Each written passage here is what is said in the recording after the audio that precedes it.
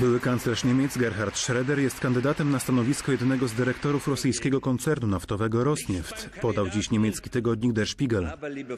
Wcześniej, wykorzystując swoje kontakty w Berlinie i Brukseli, Schroeder jako kanclerz Niemiec dążył do budowy omijającego Polskę gazociągu po dnie Bałtyku. Tuż przed odejściem z urzędu jego gabinet udzielił Gazpromowi gwarancji finansowych na kwotę miliarda euro. Na plecach Schroedera Gazprom wchodził, no praktycznie rzecz biorąc, do Niemiec. Chyba najlepszy rosyjski lobbysta, mogę dzisiaj powiedzieć, dobrze płatny, osobisty przyjaciel e, Putina. Kilkanaście dni później Schroeder został prezesem konsorcjum Nord Stream. Mimo oczywistego konfliktu interesów, nadal oddziałuje na niemiecką politykę. W czerwcu przemawiał obok Martina Schulza na przedwyborczej konwencji SPD, w czasie której namawiał do poprawy relacji z Rosją i większej asertywności względem Stanów Zjednoczonych. Gerhard Schroeder ma zasiąść w zarządzie Rosnieftu obok jego prezesa i byłego wicepremiera Rosji do spraw energetyki Igora Sieczyna. Nazwisko naftowego cara pojawiło się w rozmowie byłego szefa polskiej dyplomacji z byłym prezesem Orlenu. Radosław Sikorski w restauracji Sowa i Przyjaciele namawiał Jacka Krawca do sprzedaży Sieczynowi akcji rafinerii w Morzejkach. I to od razu dopowiedzmy pakietu większościowego. Agnieszka Ścigaj, Kukiz 15, gościem programu minęła 20. Włodzimierz Czarzasty, SLD, przewodniczący tegoż Dobry ugrupowania, wieczór. gościem programu minęła 20. I Łukasz Schreiber, Prawo i Sprawiedliwość, również gościem Kłaniam się Państwa państwu. programu. Czy Państwo w studiu są zdziwieni tą informacją, że Gerhard Schroeder, obywatel Niemiec, ma jakiekolwiek koneksje, związki z firmą, która należy do Federacji Rosyjskiej?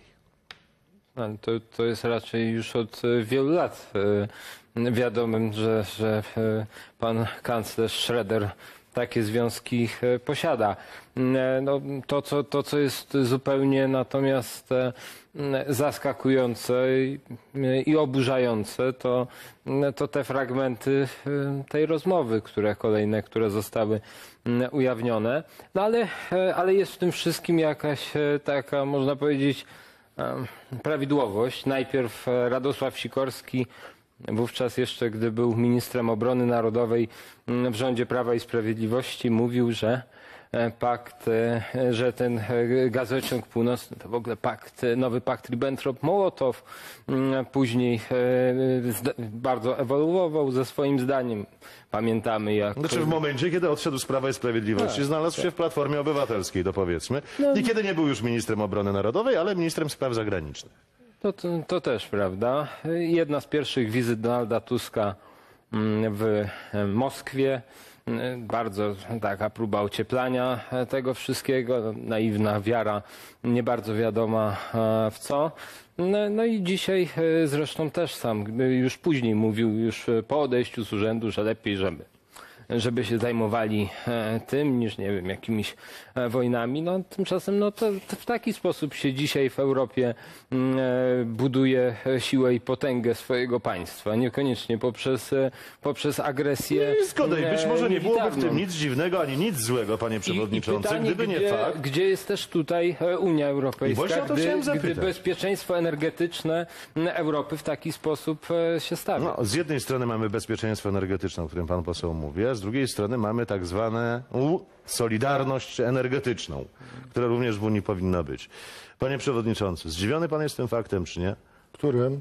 Tym, że Gerhard Schroeder ma coś wspólnego z firmą, która jest e, firmą po pierwsze obłożona sankcjami Unii Europejskiej, a do tego wszystkiego sankcjami jeszcze rozszerzonymi przez Stany Zjednoczone. No nie jestem zdziwiony, dlatego że tak jak pan poseł powiedział, to nie nowość, tak? Bo pan Schroeder po prostu tam zarabia pieniądze i generalnie od 10 czy 15 lat jest tą firmą związany. To zła informacja dla Polski.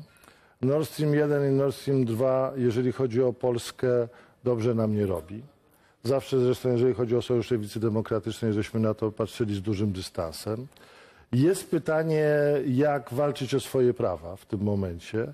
E, Z tego co wiem, rząd skierował do Trybunału e, w Strasburgu sprawę związaną z e, Nord Stream 2.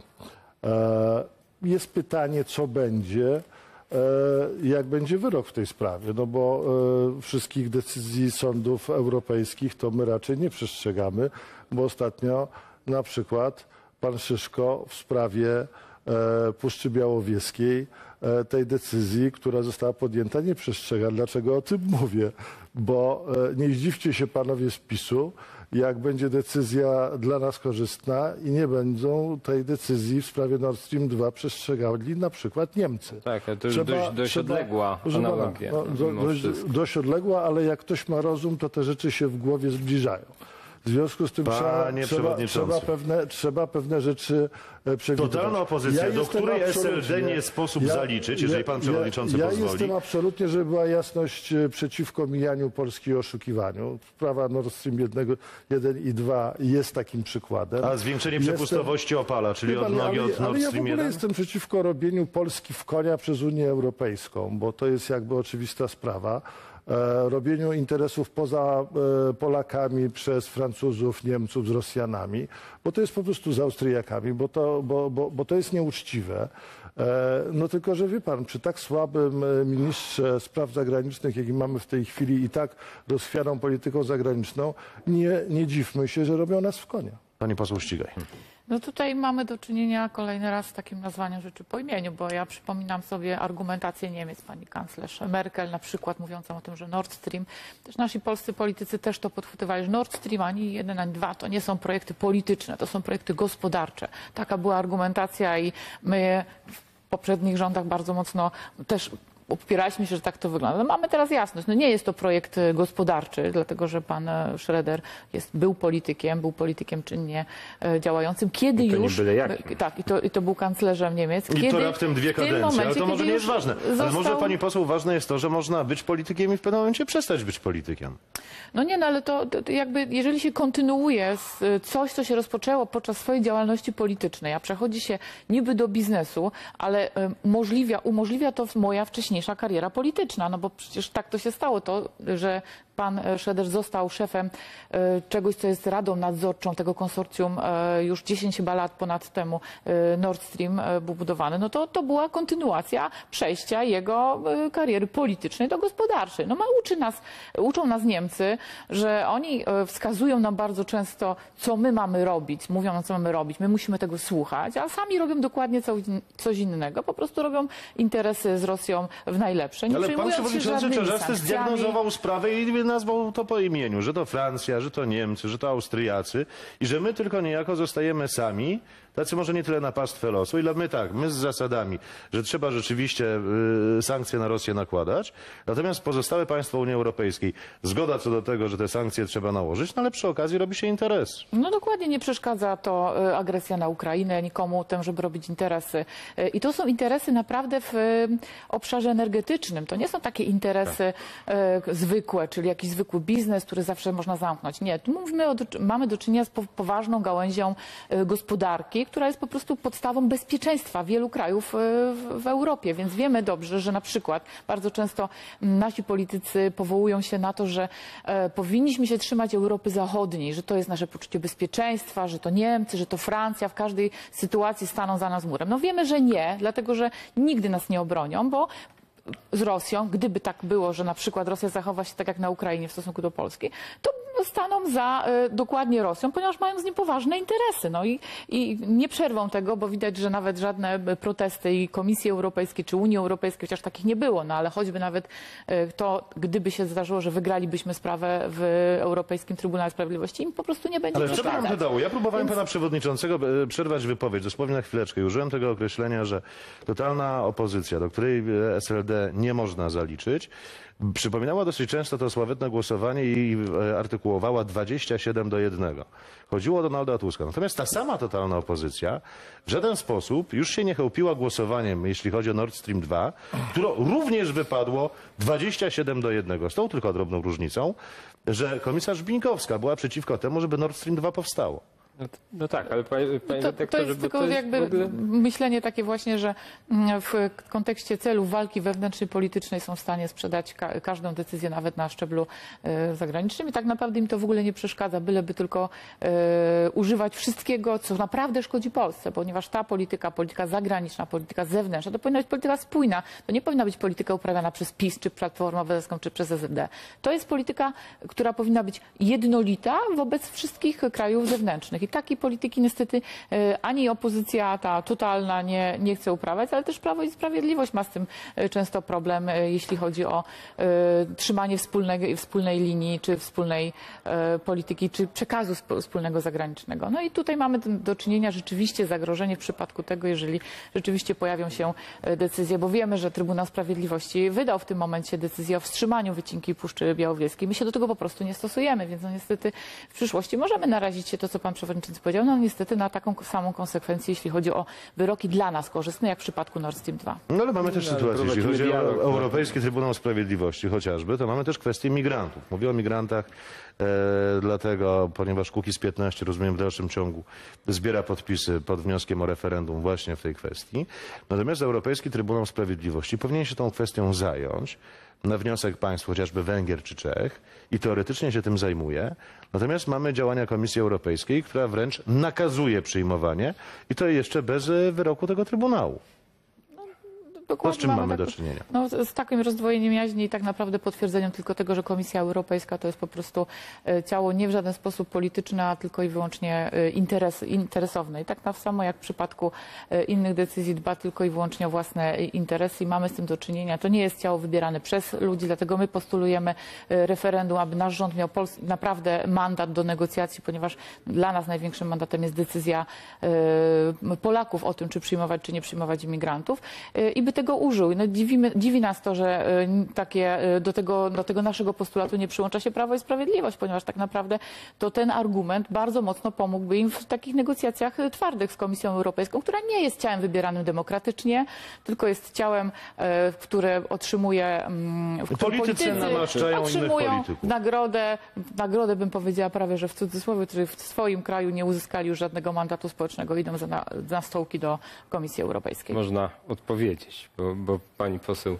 dość długo. No, w dwóch sprawach. Jedno, pani mówi o tym problemie islamskich imigrantów. No, cieszę się, że stoimy e, jakby po jednej stronie barykady, ale z, nieśmiało zauważę, że rząd polski chyba dość skutecznie jakby tą, o tą sprawę dba, bo na razie nic w tej mierze się złego dla Polski e, czy niepożądanego z punktu widzenia też Polaków nie dzieje. Także, e, także pozostawmy Zobaczymy, jak tą przyjdzie sprawę. negocjacja Dobrze, budżetu europejskiego. Zobacz, zobaczymy, zobaczymy pani poseł. I druga sprawa, pani mówi oczywiście mm, skądinąd e, słusznie, że e, polska polityka zagraniczna powinna być wyjęta spod, e, spod tego takiego mm, sporu bieżącego politycznego. No, z tym się pewnie wszyscy możemy zgodzić, ale z drugiej strony no, trudno o kontynuację pewnych działań. Nie wiem, tak jak działań mm, premiera Tuska, który dążył do, znaczy współpracował z premierem innego kraju, by rozdzielać wizyty polskiej delegacji. Tak e, miało miejsce w Katyniu, przypomnę, w 2010 roku. No, no nie wiem, co byśmy mieli w tej mierze kontynuować e, za praktyki. Mm, I to jest sprawa druga, a sprawa trzecia, tak e, w toku tej dyskusji, bo często jest tak, że kiedy w Polsce nasi, m, czy to ministrowie, czy, czy nawet przedstawiciele mm, partii politycznych formułują jakieś wobec czasem także Niemców bardziej bądź mniej twarde stanowiska, słyszymy, że o, jakaś fobia jest e, niemiecka. Nie, nie ma żadnej fobii. Ja e, zwrócę uwagę na to, co, co robią nasi sąsiedzi. E, Prowadzą w twardy sposób swoją politykę, który jest niestety bardzo często niekorzystny dla Polski. To jest nie tylko kwestia Nord Stream, to jest także kwestia choćby tego, jak upadały polskie stocznie, gdy wówczas no, polski rząd nie mógł e, pomocy publicznej udzielić. Inaczej, a pani Merkel, a em, stocznie w umiała. chociażby dostawały. No, I oczywiście, że problemu. tak.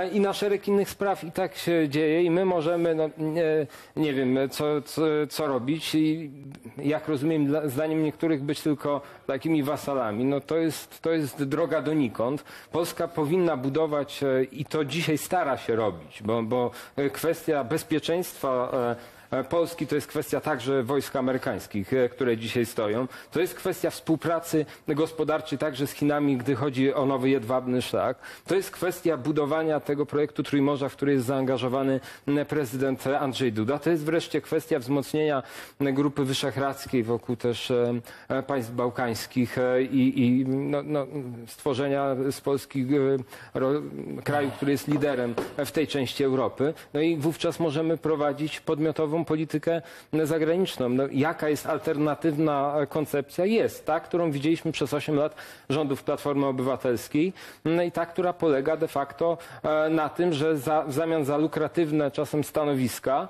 e, tak jak przewodniczącego e, Parlamentu Europejskiego, czy, czy dzisiaj w przypadku Donalda Tuska, no, zgadzamy się na szereg rzeczy fatalnych dla Polski. No ale tak to jak przypomnieć też, że z punktu imigrantów. widzenia historycznego, pragmatycznego, politycznego i gospodarczego to nie kto inny, ale Bogusław Liberacki, wiceprzewodniczący Parlamentu Europejskiego, notabene z SLD, był tą osobą, która przyblokowała pierwszą debatę na temat Polski, która wypadała 13 grudnia. I to on mówił, że się nie godzi.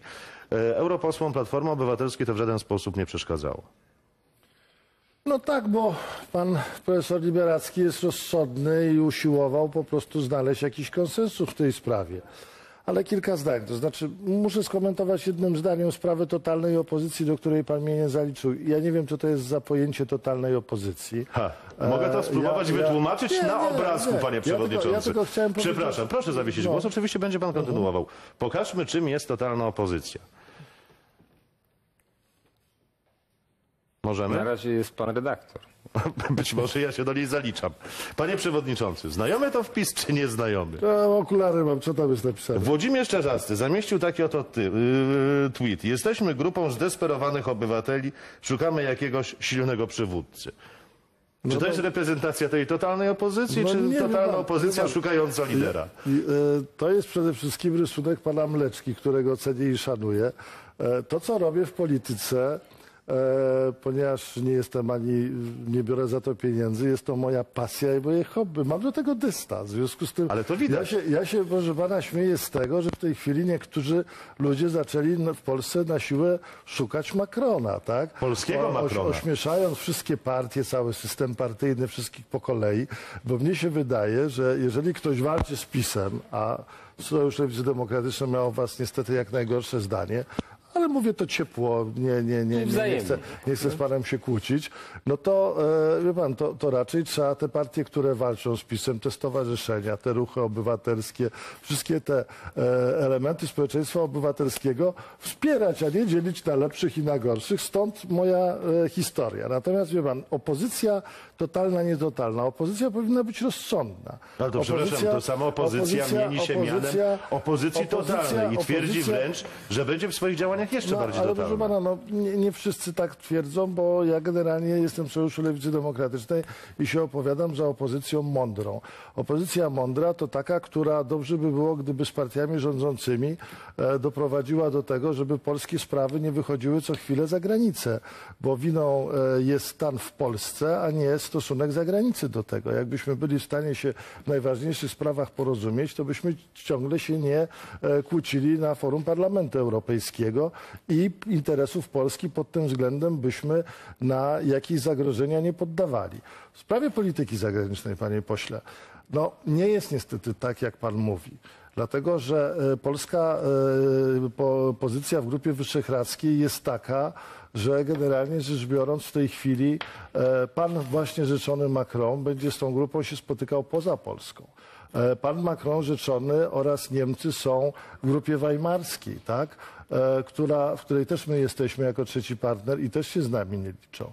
E, Wie pan, jeżeli ktoś e, próbuje robić paszporty, w których się nawiązuje do elementów Polski w Wilnie i w Lwowie, i, i, i mówi, że po prostu nie rozumie, na czym polega niezręczność, to ja bym się pana zapytał i pana koleżanek i kolegów o taką rzecz. A co by było, gdyby Niemcy zrobili paszporty nawiązujące do Wrocławia, Szczecina i do Olsztyna na przykład? Czy to nie byłoby niezręczne?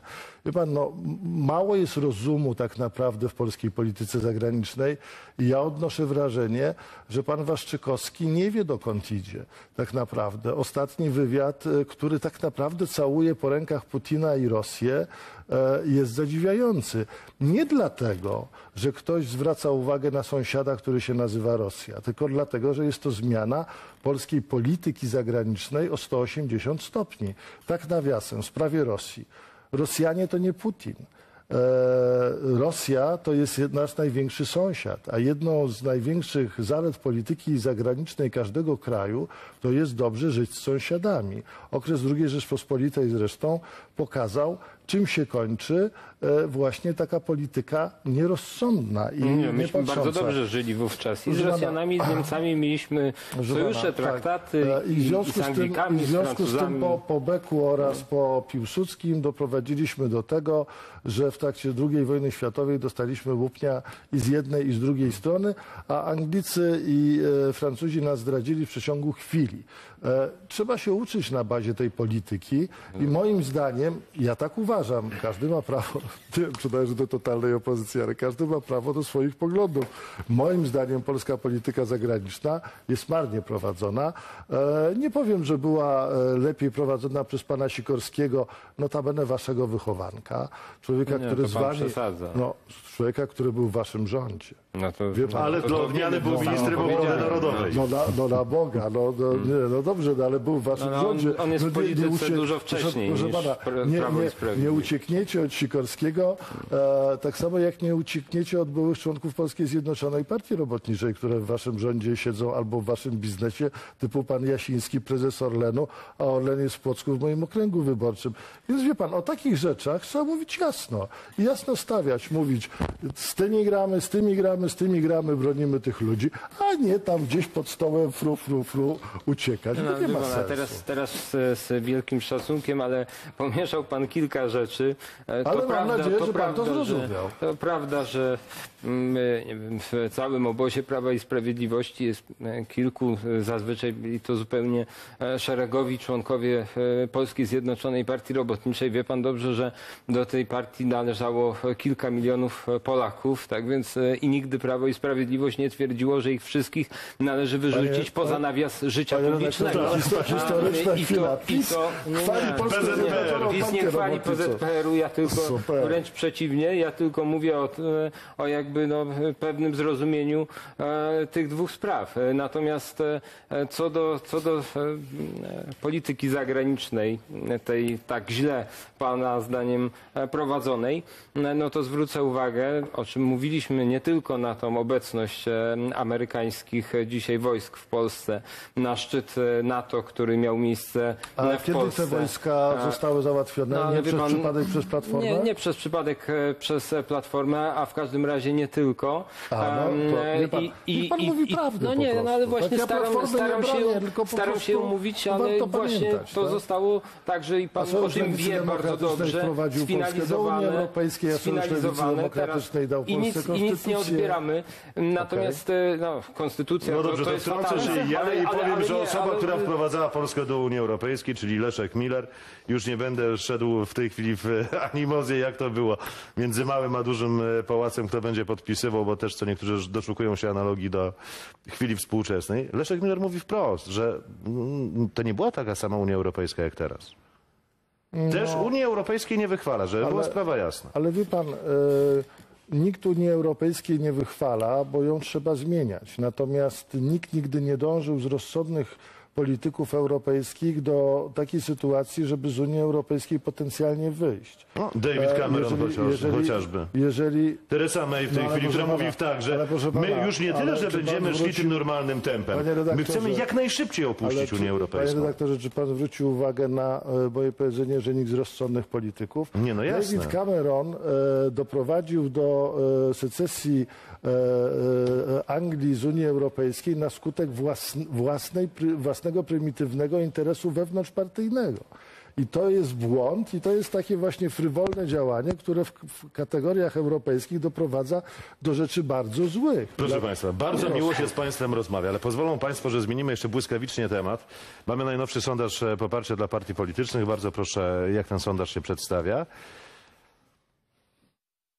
Według najnowszego sondażu Grupy Polskie Wybory na Prawo i Sprawiedliwość chciałoby głosować 37,6% badanych, na Platformę Obywatelską 22,1%, na Kukiz 15 10,1%, na Nowoczesną 8%, a na SRD 5,3%.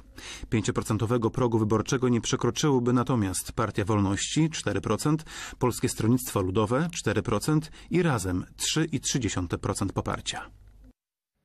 Nie wiem, czy Państwu już gratulować, czy współczuć, czy trzymać kciuki. No to jeden z wielu Patrzy się sondaży. pan mnie, tak? Panie Przewodniczący, ja Pan się- wie, że gdybyście nie popełnili tego błędu, Ja który się- popełniliście i nie tworzyli koalicji, to byście w Sejmie byli. Proszę pana, za błędy, błędy zostały popełnione, trzeba było zapłacić. Zapłaciliśmy, chociaż wzięliśmy prawie 8% głosów.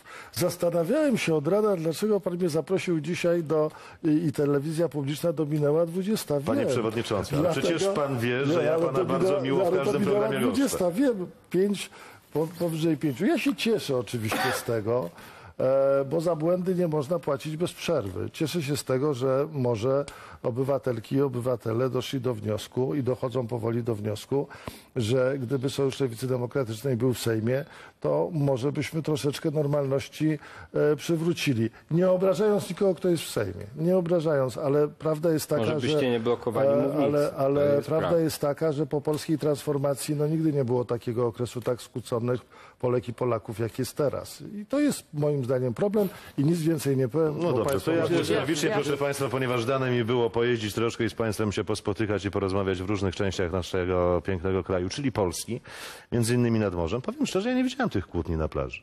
Ludzie zadowoleni, ludzie uśmiechnięci, nikt się z nikim nie kłóci, ba. Nawet politycy, którzy próbują spokój wczesowiczów zakłócić, są jakoś tak spychani. No nie, Ludzie no nie chcą polityki no w żaden nie, sposób. No ale nie, nie, panie redaktorze, to znaczy tak naprawdę z wielkim dystansem. No to, co było jeszcze 3-4 tygodnie temu, to, co się dzieje przy... przy e, o, A co się będzie działo? I teraz proszę e, spojrzeć, różnych, panie no przewodniczący. no Pan by na pewno w jest takie tak. rzeczy nie poszedł, jak tutaj na przykład czytamy.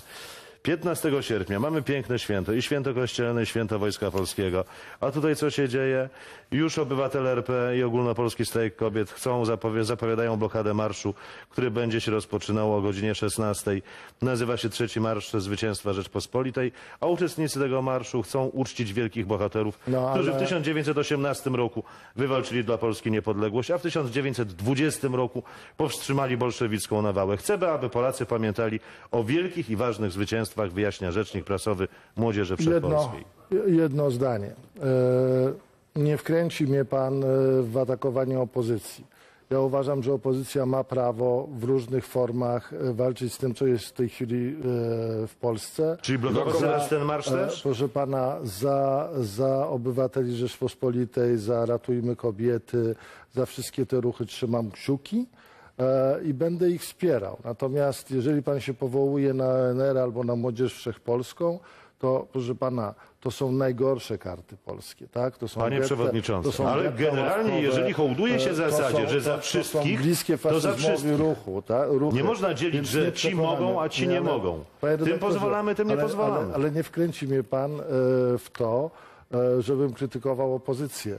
Ja mogę stosować inne czasami zasady, ale partie opozycyjne są mi o wiele bliższe niż, e, niż, niż PiS. Przynajmniej na tę chwilę. jest mi, No nie, który jest mi daleki. Moim zdaniem jest partią antysystemową, antydemokratyczną i nie chcę z tą partią Chyba- mieć To biegnę Chodzi do antysystemowców, bo oni chyba najlepiej No wiedzą, kto jest systemowy, kto jest antysystemowy. No właśnie, jak rozmawialiśmy o tym, jaka opozycja i dlaczego totalna, nie totalna, no to właśnie, panie przewodniczący, jesteśmy ugrupowaniem, trzecią siłą polityczną w Sejmie. Jesteśmy w opozycji, ale pojmujemy tą opozycję w sposób bardzo demokratyczny, czyli rozumiemy, mimo to, że jesteśmy antysystemowi, bo nie znaczy, że nie rozumiemy systemu, ale wiemy, że chcielibyśmy zmienić nie tyle władzę z jednej na drugą czy trzecią partię, tylko zmienić sposób wybierania tej władzy, zmieni- zmienić sposób zarządzania państwem i na tym polega ta antysystemowość, ale szanujemy reguły, które są ustanowione, rozumiemy na czym polega praca na rzecz obywateli, rozumiemy, że swoją pracą i tym, co robimy,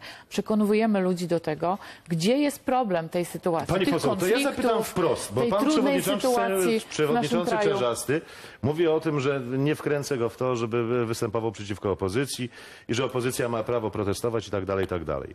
To jak to jest, że Młodzież Wszechpolska nie może protestować, ten ONR też nie może protestować, natomiast kontrmanifestacje czy kontrblokadę do tego marszu mogą robić chociażby obywatele RP i chociażby pan pułkownik Mazguła, który przypomnijmy o stanie wojennym mówi z taką wielką refleksją i nawet chyba z żalem w sercu, że to było takie, no to w sumie kulturalne wydarzenie.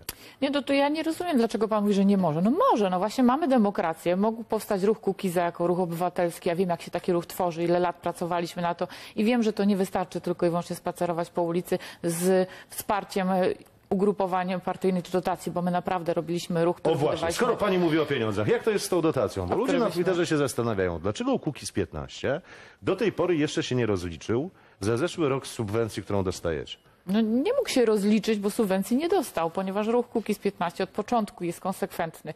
Mówił o zmianie sposobu finansowania partii. To był jeden z naszych pierwszych projektów, jaki złożyliśmy. Więc mówiąc o tym, jednocześnie nie, nie potrafimy być hipokrytami i jednocześnie brać e, subwencje. Więc my tej subwencji świadomie nie wzięliśmy. Nie zarejestrowaliśmy się jako partia, a mogliśmy. Mogliśmy wziąć 30 milionów przez całą kadencję. Świadomie z niej zrezygnowaliśmy. Pracujemy ciężko, przygotowujemy projekty ustaw. Nie mamy e, mniejszej frekwencji BA. Nawet mamy najwięcej, jeśli chodzi o naszą działalność w kon- kontekście projektów ustaw, interpelacji, spotkań z wyborcami, działalności Ponieważ to jeszcze nie kampania wyborcza, pozwoli pani, że tutaj tak skończymy. To była naprawdę- pierwsza część Ale- ale programu, minęła ale jedno Nie 20. słowo, złożyliśmy ale sprawozdania. goście, proszę ale jedno Pozwólcie mi Pa- Państwo skończyć, nie, no, ale ponieważ pa- to było jasne, bo to jest bardzo ważne, długo. To ja pomogę państwu- Nie ma sprawozdania, bo nie ma subwencji, nie bierzemy pieniędzy Polaków. I z tego sprawozdania, rozumiem, nie będzie, ale jedno zdanie, jedno bardzo zdanie proszę. w tym temacie, bo panie przewodniczący, no jakkolwiek mnie osobiście może być trochę daleko do NR-u czy Młodzieży Wszechpolskiej, tak? Pan mówiąc taką dezynwolturą o jakichś faszystach, to wie pan, różnica jest taka, że to nie Młodzież Wszechpolska, a komuniści mają na rękach krew e, Polaków, tak? Więc no warto o tym pamiętać. I to była pierwsza Ale część programu. Programu minęła poszło. 20. No to- Państwu bardzo dziękuję. Przed nami kolejne części. Coraz więcej Europejczyków decyduje się na zamieszkanie w Polsce. Nad Wisłę chętnie wracają także Polacy, którzy do tej pory wybierali życie na emigracji.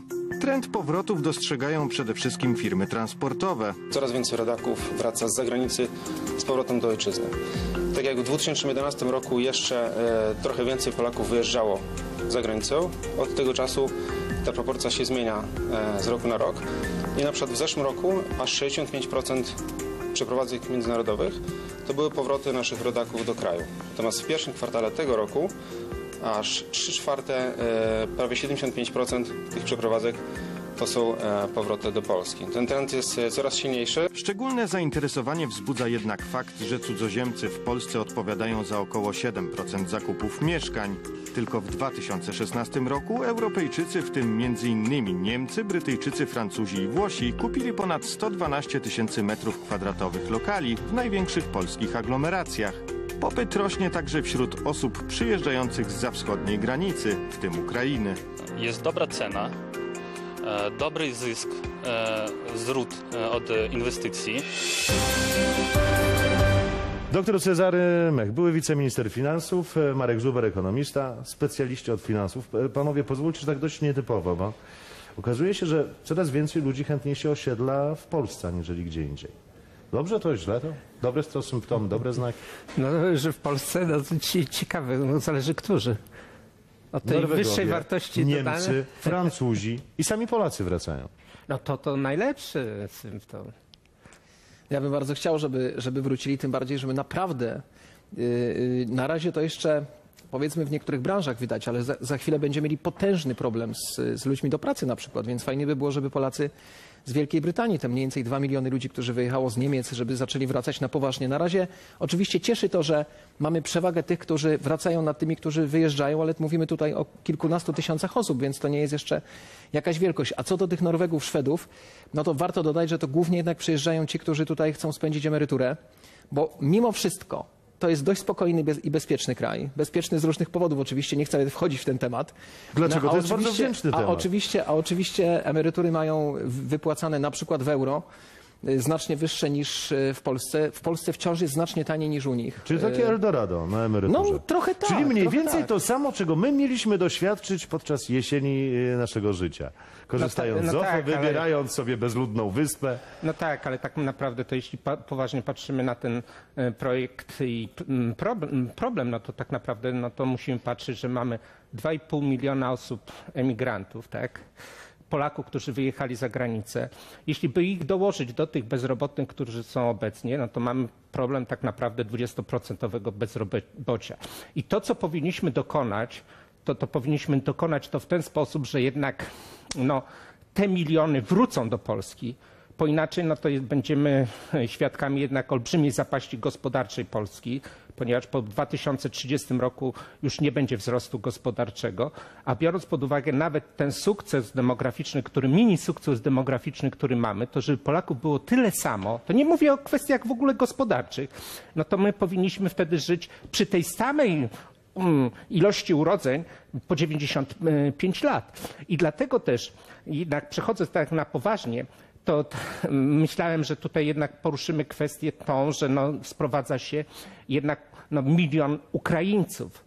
Tak? A więc bardzo duża ilość mm, napływu jest, tylko jest to napływ tak naprawdę taniej siły roboczej, która powoduje zamiast wywierania presji na przedsiębiorców, pracodawców, państwo, żeby wzrastały jednak wynagrodzenia i żeby proces konwergencji się dokonywał, to jednak powoduje jednak hamowanie wzrostu płac. A to jest zabójcze, ponieważ powoduje z jednej strony jednak fakt, że Polacy nadal będą myśleli o tym, żeby wyjechać, a z drugiej stra- strony to jednak na długą metę, jeśli nie będzie znaczącego wzrostu płac i procesu konwergencji, to jednak e, musimy pamiętać Ale jednak... do tego, panie doktorze, do tego wzrostu płac dochodzi sukcesywnie. Ale nie, ja nie, trochę- nie. ja trochę nie, popolemizuję. Może jednak e, dokończę. E, Jednak e, pamiętajmy o tym. W sąsiednich Niemczech wynagrodzenie jest jednak mediana, jest czterokrotnie wyższa niż w Polsce. To pamiętajmy też przy okazji, że mieliśmy być już i drugą Irlandią, przy okazji byliśmy też Japonią, byliśmy już wszystkim. No teraz ale, mamy no to drugą ale- Niemców to już gonimy tak już 20 lat. Tak, tak, tylko że jeśli my naprawdę nie, nie dogonimy, no to jakim krajem my będziemy? No, jeśli spojrzymy na te sukcesy 25 lat ostatnich, no to pamiętajmy, no, brakuje nam 4 milionów mm, dzieci do prostej zastępowalności pokoleń, 2,5 miliona osób wy, wyjechało i, i my nadal po prostu tak dość, e, tak lekko jednak traktujemy to, że jednak ci Polacy nie wracają. No nie, nie, Chodzi- no to skoro robiłem podprowadzenie i staram się, naprawdę kolega przełożył się, zrobił dobry materiał o tym, że Polacy wracają, ale nie tylko Polacy. I ludzie chcą się tutaj osiedlać, to, to chyba dobrze. To ja jeśli, jeśli mogę, y, dwa słowa. Pierwsza kwestia y, to jest kwestia właśnie dotycząca tych Ukraińców. Oczywiście, absolutnie zgadzam się z tym, że to jest element, który hamuje wzrost płac w Polsce i co do tego nie ma żadnej wątpliwości. Natomiast mnie się wydaje, że niekoniecznie to musi być źle. Dlatego, że y, jednak mamy sporo takich branż, w których jeżeli doszłoby do bardzo szybkiego wzrostu wynagrodzeń, to mogłoby się okazać, że te firmy przestałyby być konkurencyjne na rynku europejskim. No, ja tutaj bardzo często podaję przykład różnych firm budowlanych, choćby stolarki okiennej. Rozmawialiśmy akurat przed programem na ten temat. Ten bardzo mocny wzrost mógłby naprawdę spowodować to, że przedsiębiorcy nie zdążyliby przygotować się na wyższe Ale ceny. tak, to jest ale- plusem ale- i to, co trzeba podkreślić. jeśli mogę, Panowie, panie przepraszam, wejdę do tego strona, ale jako obserwator sceny politycznej i gospodarczej. Plusem jest niewątpliwym to, że mówi się o różne dane są dotyczące Ukraińców. Mówi się, szacuje się, że co najmniej 800 tysięcy Ukraińców pracuje na polskiej wsi. Ile pracuje Tak. po miastach, po stacjach benzynowych, po barach? Mówi się nawet o dwóch milionach, że w tej chwili już tylu Ukraińców jest w Polsce. Większość z nich, żeby nie powiedzieć, że wszyscy, mają opłacany ZUS. I tak, to to jest, jest- nowum, bo do tej pory Ukraińcy, jak przyjeżdżali, robili generalnie na czarno. To jest Nie, prawda, nie, no ale to ja jeśli, znaczy- jeśli mogę jeszcze słówko. Y, W tym roku zaczęły się bardzo poważne zmiany, bo y, ja mogę przykład, podać przykład y, Kraków, czy y, rejon Krakowa i Ukraińcy pracujący w, w budownictwie. O ile w zeszłym roku stawka na poziomie 7-8 zł za godzinę to była stawka, która ich satysfakcjonowała, o tyle dzisiaj poniżej 12 zł nie ma już mowy. Czyli ten proces pod, y, żądania wyższych wynagrodzeń y, ze strony. Ukraińców także nastąpił. Natomiast też jeszcze do jednej, jednego się chciałem odnieść. My możemy oczywiście mówić o robotyzacji, bo to się pojawia przecież w wypowiedziach różnych polskich polityków i, i rządzących, i opozycji. No, swego innowacji. czasu chciał, żeby natomiast, mieli natomiast, natomiast prawda jest taka, że największym problemem dzisiaj w rozwoju polskiej gospodarki właśnie będzie brak y, ludzi do pracy. Nawet jeżeli jakiś cud się wydarzy, my nie jesteśmy w stanie y, w taki sposób, nie wiem, zrobotyzować y, polskiego Ale, przemysłu. ale my mówimy o jakiejś Tylko, fikcji. tylko, ale ty- nie. tak- także to będzie ograniczenie nie. wzrostu My ewidentnie. mówimy o jakiejś fikcji japońskiej. No bo rzeczywiście w Japonii jest kwe- kwestia dotycząca jednak informatyzacji. Może dokończę. 40 E, lat to rozwijają. Tak. Nie, nie. My mówimy ostatnio. Nawet tam Mimo tego, że płace są trzykrotnie wyższe, to jednak rząd nawet narzuca koncernom wzrosty wynagrodzeń. Po co? Po to, żeby wymuszać na koncernach zwiększenie wydajności pracy i efektywności pracy. I tam proszę zauważyć, e, najniższe stawki w zeszłym roku wzrosły na poziomie o sie- 7%. Znaczy, o czym mówimy? A to znaczy więcej niż, niż u nas przecie, mówimy Ale nie, dokończmy, dokończmy jednak Ale- kwestię. Kwestia dotycząca wydajności pracy to jest u nas kopiowanie, bo u nas wydajność pracy jest trzykrotnie niższa. Więc nie mówmy o czymś jakiejś Ale dlaczego u nas robotyzacji. jest trzykrotnie niższa wydajność pracy, skoro okazuje się, że jesteśmy chyba najciężej pracującym społeczeństwem w całej ale Europie? No, ponieważ dlatego- okazuje się, że jednak miejsca pracy, które są w Niemczech, mają wyższą wydajność, e, wartość dodaną, generują wyższą wydajność niż u nas. I nie mówmy o tym, że my musimy coś na- niesamowitego odkrywać, tylko chodzi o to, żeby jak najszybciej dogonić pod względem wydajności pracy i płacy właśnie takie Niemcy. I po Nie, nie, to, żeby ściągnąć, to, po to, że żeby bez- ściągnąć Polaków. Ale mnie chodzi o ale to- jeśli my, ale jeśli my jednak doprowadzamy do takiego absurdu, że zamiast ściągać mm, Polaków, te 2,5 miliona, my sobie ściągamy jeden czy tam 2 miliony Ukraińców po to, żeby ich nie ściągnąć, a może jeszcze na dodatek dzieci e, skłonić do tego, że mając jednak możliwość pracy w Niemczech, oni wyemigrują, no to jest jeden z absurdów ekonomicznych. I proszę zobaczyć, Panowie, jeśli, nie, ponieważ tylko może kolejni jeszcze- goście czekają. Ja wiem, miło się rozmawia, naprawdę, super. ale I nie, myślę, nie, że będziemy chciałbym tylko powiedzieć, rozmowę. nie płaczmy, że u nas nie ma inwestycji w przedsiębiorstwach, nie ma, e, nie ma jednak inwestycji e, w majątek trwały, jeśli daje się zielone światło przedsiębiorcom, co? Zatrudnić tańszego Znaczy, ja się, tam, e, ja, się, za ja, ja się tu nie Polaka. zgadzam. Jeszcze raz, z punktu widzenia oczywiście polskiego, przedsiębior- polskiego pracownika najfajniej by było, żeby pensje rosły 100% w ciągu roku. Ale nie mówimy o 100%, ale w dużej ale części, jeżeli, powinny rosnąć, jeżeli nie mamy do czynienia, nie wiem, z Ale proszę sobie przypomnieć, co się działo na. Komisji Trójstronnej. Co się działo, jeśli chodzi o stronę pracodawców Ale- i co się działo, jeśli ale chodzi o związki ale- zawodowe. ale właśnie o to Przecież chodzi. nawet słuchajcie, bo ja- stawka minimalna. Prze- mam- Proszę Ale sobie nie- przypomnieć, nie chodzi jak o ona staw- była kontestowana. Ale nie Ale chodzi jedno o zdanie tylko stawkę chcę powiedzieć, minimalną, jeżeli chodzi, mogę. chodzi Mamy, mamy z, bo po, polska gospodarka to nie jest jednorodny twór. Mamy zupełnie inną sytuację w przypadku, nie wiem, super nowoczesnej fabryki Volkswagena, która kilka miesięcy temu została otwarta, nie wiem, Toyoty i tak dalej, i tak dalej, gdzie podwyżka płacy o 30% dalej oznacza, że ten niech będzie niemiecki, japoński, wszystko jedno, właściciel płaci I tak, połowę i tego, tak, co płaci w mniej Niemczech, tego, co płaci u siebie. ale mamy Mhm. też tysiące, jak nie setki tysięcy Tak. polskich przedsiębiorstw, Tak. gdzie jeżeli dojdzie do wzrostu y, wynagrodzeń o, o nie wiem, 30-40% w ciągu roku, to to będzie problem. Są dwie możliwości. nie, albo bo- dojdzie do bo nadal wzrostu, mówimy o albo 30, dojdzie do wzrostu 40 płac, czy 100%. Albo dojdzie, przepraszam, do Nie, wzrostu cen. I nie, dojdzie, moim zdaniem, nie, w nie. przyszłym roku zacznie się naprawdę wyraźny wzrost cen. Inflacja ko- kosztowa wynikająca właśnie ze wzrostu kosztów, bo ja, panie Cezary, pragnę pana uspokoić. Moim zdaniem w Ale przyszłym nie, roku nie będziemy mieli dwucyfrowy nie wzrost wynagrodzeń. Nie mamy sposób, wyjścia. Nie musi mnie pan Dwucyfrowy wzrost wynagrodzeń, albo proszę druga państwa, był Tak uważam, Nie, tak nie, uważam. zauważmy, że, Kończymy że drugą część problem, programu. albo będziemy mieli A na koniec chciałem jeszcze zapytać, Na, na koniec należy Jak to- dodać, jak to możliwe, nie że- mają 15% wzrost e, płac i jakoś o, po prostu Ale mają przedsiębiorstwa nie dużo pak- większy e, udział Słowacy też ściągali takie koncerny koreańskie, które bardziej wolały lokować u Nie. nich, bo u nas nie było za Wszyscy bardzo muszą woli chcieć politycznej i lokować i gospodarczej. podwyższać Trzecia część płace. programu minęła 20 przed nami.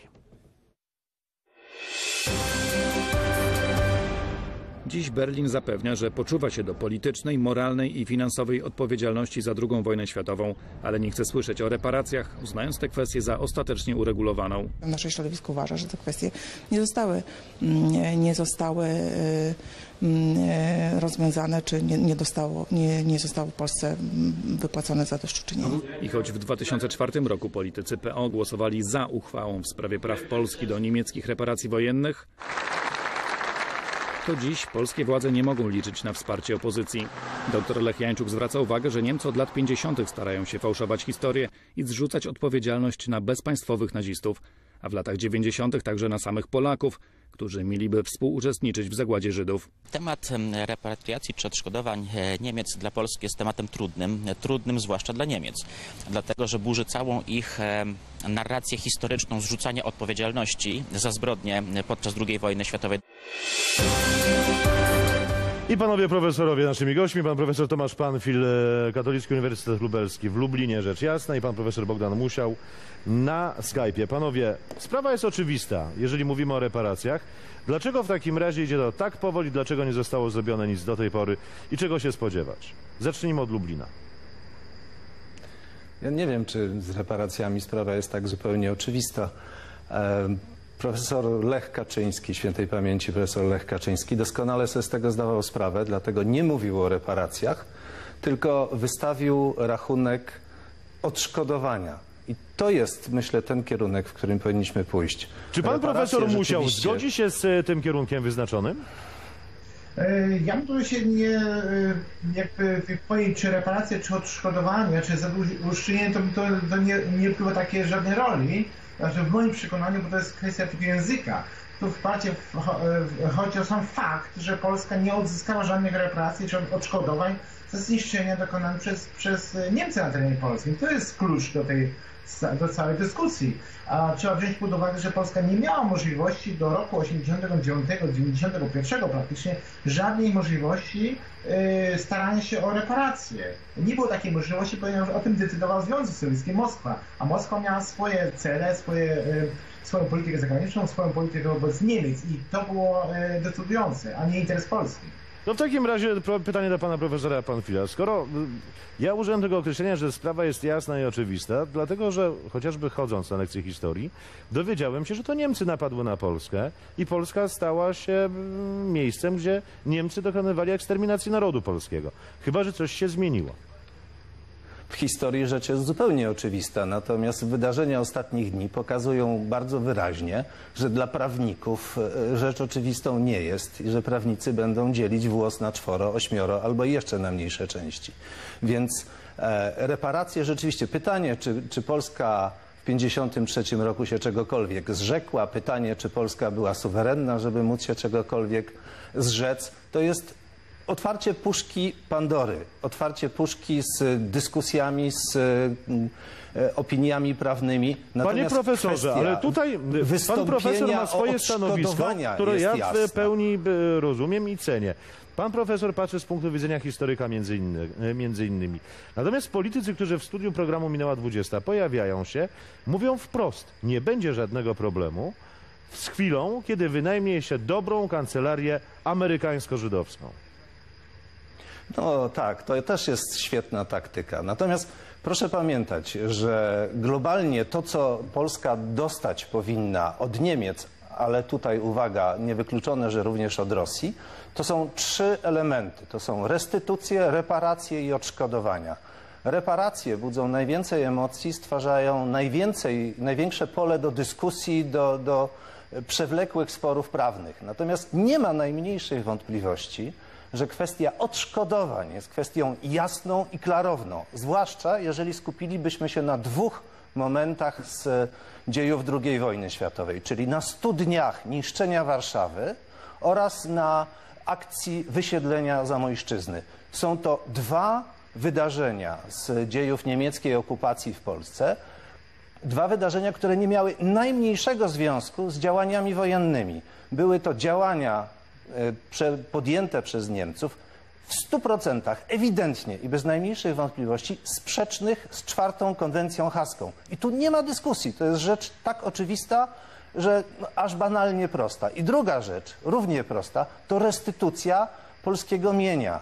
To wszystko jest opisane. Profesor Streicher, który e, spędził e, okres e, II wojny w Londynie, dokumentował na bieżąco na podstawie meldunków przesyłanych do Londynu przez komórki AK i Polskiego Państwa Podziemnego, dokumentował straty polskiej kultury ponoszone przez każdego dnia okupacji. Wyszło mu w publikacji, która się ukazała w 1944 roku, 500 stron strat zabytków zniszczonych, ukradzionych, wywiezionych. Tu również rzecz jest zupełnie oczywista. Niemcy uparcie odmawiają restytucji polskiego mienia. Niemcy uparcie odmawiają e, odszkodowań, ale jak pokazuje kazus właśnie ten z 2004 roku, kiedy prezydent Lech Kaczyński wystawił rachunek, powiedział zniszczenie Warszawy to jest 45 miliardów dolarów.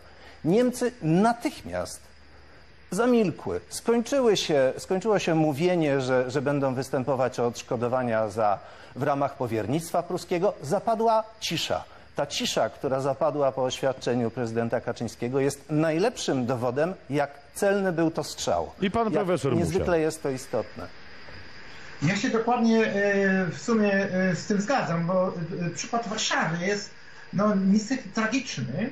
E, tragiczny i to, co Niemcy dokonali w Warszawie, czyli z, e, mordy na ludności i e, na mieszkańców Warszawy i ich wypędzenie i zniszczenie systematyczne, to jest takim przykładem niemieckiej polityki w Polsce, na temat Polski.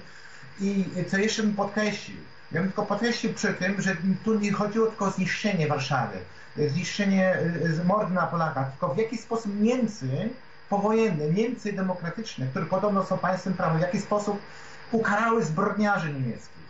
Proszę Państwa, za zniszczenie Warszawy żaden Niemiec nie został skazany przez niemieckie sądy RFN-u. Nie.